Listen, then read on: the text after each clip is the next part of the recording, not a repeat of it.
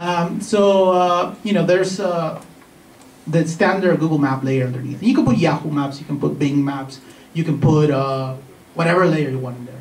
And what we have on top of it is basically our uh, own geospatial layers, our own custom data in PostGIS, which is uh, building footprints for uh, for buildings, right? So I can, you know, turn mine on. Oh, look at tiles not being drawn correctly.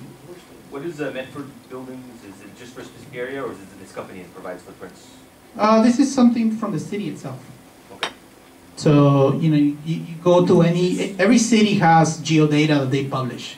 And you can just basically grab whatever you want from them and, and use it. And everybody does it, different licensing and, um, Which is goofy because otherwise the city of Medford is mired in about 1980. oh, well, okay. I'm surprised at this particular data set. Yeah. So, you know, you can do that. You can switch the underlying data set. I don't know what's going on. Some requests are going back. I think they're cached incorrectly. But, you know, you, you basically are overlaying your own data. You can grab this data, you can edit it with something else and, you know, overlay it. Um, so that that's kind of boring. Let's let's go and do something more interesting than that, right? So since it's your data and it's in your spatial backend, you want to be able to query it, right? So in this case, you know, I can click on this thing and I can summarize and get information for it, right? So it, it's going back in, doing a very simple spatial query and coming back and giving me information about that. What I also have, I guess, I got tax lots. So clicking, querying, getting information back, not too exciting, right? It's just what you would expect, something normal. So let's dial bad here. Um, let's do something a little bit more uh, interesting, right? Uh, let's basically do summaries, summaries of uh, you know data about uh, tax lots. So if I click on different areas here, what I'm getting is an update down here, and then I can switch this. You know, 200 feet. This is actually going to the database and doing group bys, and just showing up the results of the group bys. Um, so, you know, looking at all the data within 400 feet, summing it up, and showing the results right there. Um, I looked at the source, you'll actually see that it's really only one query, really simple stuff. Not so exciting. Um, I'm to skip this one, it's kind of boring. Let's do this one. So, uh, you know, I'm clicking here, and I'm actually uh, sending back the vectors. Um, when you want to show a whole bunch of data, you usually do it as tiles, not as vectors, and there's reasoning for that, and he's probably going to talk about it, so I'm not going to get into it. But um, I wouldn't actually, if I zoomed out, um, I wouldn't want to see every single parcel pulled back as a vector because of uh, multiple reasons on how uh, JavaScript objects have an actual overhead. And if you have a lot of JavaScript objects, that's a lot of overhead. Um, image, you know, on the other hand, browsers are really good at showing images because um, they've been doing it for a while. So in this case, you know, I'm clicking on different areas, and when I'm clicking, I'm retrieving the parcels as uh, vectors, and you know, I can perform a union. I can say, you know what, union all these things before you retrieve them back. So if you look here, and I'm zooming in, you know, here, there, without the union, I click on my, now we're the union, right? I don't want the union, I click it back. Now I get the individual vectors. I want 400 feet, click on it. Maybe I want them union again because I'm going, it's some reason. And there you go, right? So yeah, that's, that's better. You know, what else can I do? Well, you know, I'm not saying do this because this is exactly how you would get a SQL injection bug. But I just have it as a demo so you understand that you know you would be doing this somewhere else. Uh, so here, for example, you know, doing standard query, and I'm saying, uh, you know, just give me the geometries of the schools and change it to this particular spatial reference and return them back as GeoJSON, right? Click in here. Oh, wait, no, run SQL. There you go. So I get all the points back, right? Not so exciting, school points. So I go back and it's like, okay, there's schools here. That's great. You know, what, what else can I do with that? Well, your queries can get as complicated as you want them to be, right? Um, give me school buildings that contain a school point. So, you know, grab the uh, buildings, grab the schools, and show me the ones that contain each other. Boom. So these are the buildings that contain school point. Okay. Uh, streets that are near schools. Right. In this case, it's I know this is in UTM, so this is in meters. So basically saying, if you don't remember, go back right here. I run this. Those are the schools, and I want the streets that are near schools. streets, you know, 500 meters, maybe one a kilometer. And, you know, those are streets that are within one kilometer. And uh, what else? Uh, tax lots, you know, you can get as crazy as you want. What is this? Tax lots clipped to 500 foot buffer of schools in Ward 3. You can get as crazy as you want. That's the only thing that I want to uh, convey. What if you have a network, right? What if your street is a network and you want to be able, and this is not going to be the most efficient way of doing it, it's just to show you that you can do it this way. Uh, Can you say just again, what are the layers of technology that you're using? So it's OpenLayers is the JavaScript front end. GeoServer is the thing that is generating the images and uh, yeah, it's generating the images. And PostGIS is the actual thing doing everything, the actual processing. Um, so in this case, for example, I want to be able to, this all represent pipes, and I want to be able to do things like, uh, you know, if, if the water starts, starts raining a lot, like which direction is the water gonna go in? Well, you know, I click here, I, you know, starting point maybe here. There you go, right? So it basically starts there and goes that way. Um, let's say that I do this one. The water starts right here, it's gonna go that route. If the water starts right here, it's gonna go that route. So there's a directional thing out of the features, and you know I can explore and do analysis on that.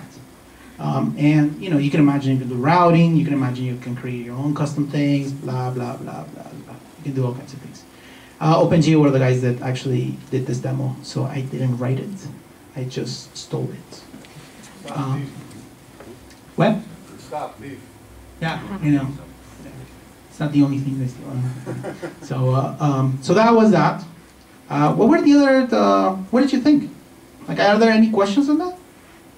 I'm curious, like, um, you said that that type of data is available for most cities. hmm Like, how would a developer even go about acquiring that? Like, who do we try to contact? So I'll answer that for you for, uh, let's see, Geodata San Francisco.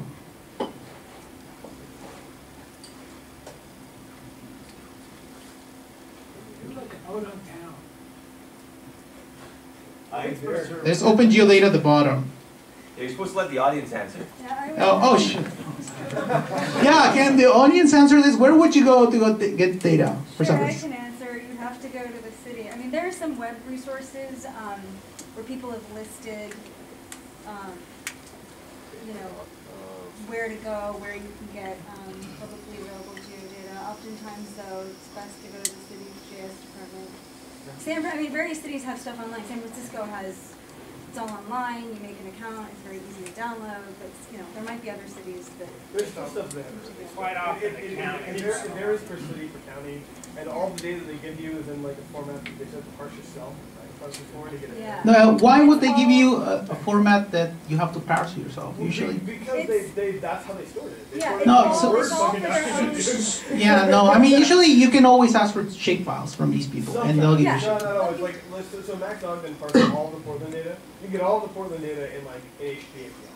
Um, but that's because Max wrote a Ruby parser for everything they ever published, which was every random format there's there, including Mhm. like CSV files with like geohashes, like embedded. Yeah. And it's basically that they've developed the data, like he was saying, counties, you know, whatever public agency has developed the data for their own use, so that's why cities have it. So it's in whatever format's best for them, Correct. whatever software they've been using it in. And that's your answer. Well, no, and there are, also there are blocks though. So like in Seattle, you have to go to the department and ask them for a CD, because they won't put it online because they contract with. Yeah, so so there are licensing issues for sure, um, but yeah, my, my experience has been the most reasonable cities will give you data, and there's ways. Yeah, We can have a different conversation about this, and I have not drunk enough beer to actually like give you good. So, any other questions? And you'd be surprised, there, there are, you really couldn't predict, because you know, there'd be the assumption, oh, you know, San Francisco and, you know, Seattle and the big cities would have much, would have much better data. But then you run into random places like Medford, because in a lot of cases, it's the case of one staff member in like the mapping department or the tax department decided, hey, we should put all this stuff online. And they happen to know something about computers. And the mayor's like, yeah, sure, go ahead, whatever. Yeah, yeah, they're they're definitely getting better. Well, I mean, Or they might not have. We can totally have a conversation about you know opening geodata, but let's move on. Right there. I serve on the Petaluma Technology and Telecommunications Advisory Committee. We're an organization that stands in between the city council and staff. And there are, give me a beer afterwards and we'll talk about all the reasons why staff doesn't want to release that data and how you can talk them into doing it. And then there's BitTorrent, but we can talk about that at some other point. So, uh, any other questions as far as the, technology and not opening the data?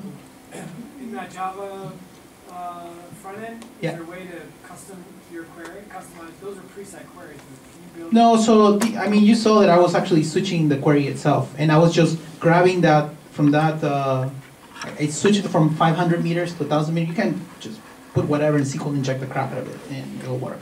Um, that's why I said don't do it, but uh, you can. So, uh, yeah. I mean, I, I can give you a link to the actual place. You can grab all the source code and look at it.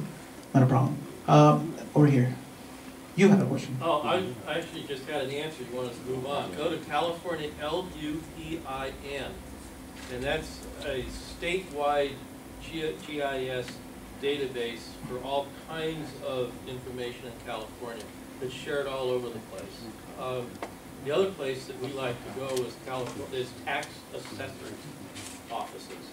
For Yeah, and they, they Virtually every tax assessor is going to have some geographic data for parcels. And some of them will give it to you, some of them will sell it to you, and some of them don't have it, they have the tables. But every tax assessor has some form of geographic database. And almost all of them have the number to the GIS department in What their was county. the statewide thing again? Huh? What was the statewide thing again? Lupin, Lupin. L-U-P-I-N. I'm gonna like just prepare for the next demo. So, uh, any other questions? Technical, not data.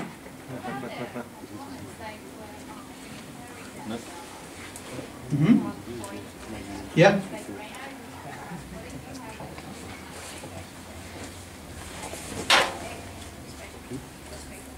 Right. So, anybody wants to answer that first? Can you repeat it? So basically, the question is, what if you have a whole bunch of data, and you're querying PostGIS with a lot of data? Well, I, I mean, in that case, it's down to, anytime it's a back end, it's a question of how much are you willing to spend on hardware and tuning? Um, I mean, in, in theory, any amount of data is, is possible to query. It's a question of, you know, how big of a, how many machines can you afford, how much staff can you afford to tune? Um, and that's gonna be true of, of any back-end technology. rephrase the question maybe, um, I understand that, um, what I actually want to know that, uh, whether you have done any kind of Yeah, so you comparison between PostGIS and other, um, backend database. Uh, so I mean, basically, there's there's distributions of PostGIS that are basic 200 million features, and it works fine. It's, except that when you reach that level of data, you should actually there's a lot of tuning that you have to do. There's a lot of things that you have to do with the disks. There's uh, you have to put the logs in different places. You cannot use the standard shared buffers. Uh, you know, tuning parameters. You actually have to change those things. Um, so you can actually scale it. I mean, most people, and then there's tricks too as far as clustering things that are together with this. Um, it's uh, it's totally doable. I mean, and I've I've used it with a lot of data before. It's just it's not trivial to tune. I mean, that's just Postgres, but you can ask that guy. He's the core developer for Postgres. So um,